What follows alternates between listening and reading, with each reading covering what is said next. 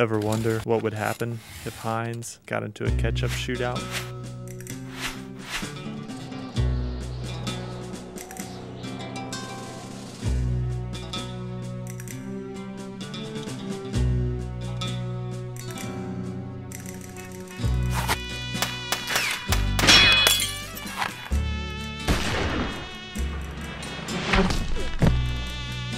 Hines, It's slow, but it's good.